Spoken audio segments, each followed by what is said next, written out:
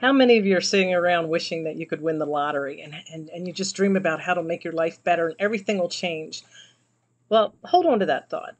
I want to share with you today five money myths that I would say almost all of us probably have had at one time or another, or you may have them still. So let's go over them.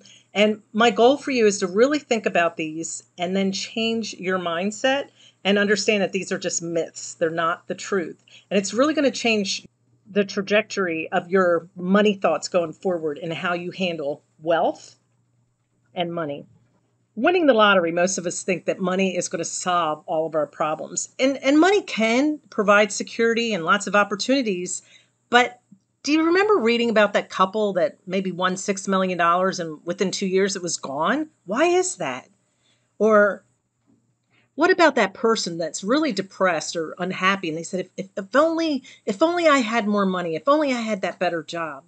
None of that is true. Money will not solve your problems. It does not bring happiness and it won't change your life dramatically because you are who you are it's not going to bring relationships to you, not healthy ones anyway. It's not going to make you happy. Every all of those things come from within.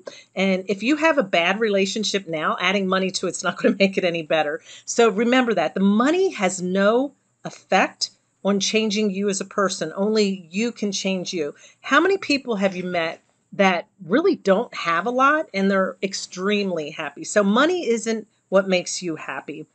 Oh, how many of you believe that you need a high income to be able to build wealth? Once I get that job and I have more money, then I can start building my wealth. Did you know that wealth actually comes to us over time? Basically, people invest in different avenues that they've chosen, and then it comes in slowly and it comes in over time. A little bit invest it over a long period of time can really make somebody wealthy. Now, you also have to educate yourself and be very disciplined with your money, but anybody, anybody can build wealth. Well, a lot of people go into debt, and going debt is bad. I was always told to pay everything off and then I could start saving money. Well, that's not true. Not all debt is created equal. Yes, if you have high interest charge cards and you're going out and spending money on going out to eat, maybe taking vacations and things like that, yes, that is bad debt. But if you're using your debt to invest into real estate, for example, and that is something that's going to bring cash into you, an asset, then that debt is a good debt. So just remember, not all debt is bad. Investing is just for the wealthy. Only wealthy people can do that. Well, that too is not true. There are platforms out there and apps in all kinds of different ways that you can educate yourself to become an investor. Anybody can do it, but you have to educate yourself and you have to be responsible with the investments that you make.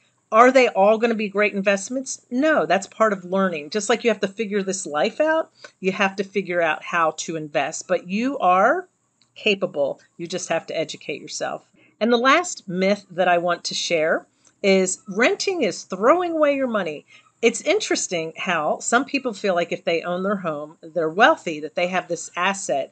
Owning a home is actually a liability. And I just talked about that actually in the last video that I made. Renting, however, is not a bad thing. There are some people that renting is better for them. It's better for their situation. They don't want to have to be responsible with property taxes, a mortgage payment, cost of maintenance, and all those things. Because there are a lot of expenses that can build up. Remember, owning a home is a liability. You have to pour money into it. So some people just do better if they know they have that one payment, they're renting, and they have no commitment to that to that piece of property. It's not a bad thing to rent. You're really not throwing your money away if that's the right situation for you. I have a link below of a book that talks about 10 different myths about money and I highly recommend that you get it because it's really going to change your mindset. And for you to go forward and start investing and building wealth, you really have to change your mindset about money. You have a blessed day, and I'll see you on the next video.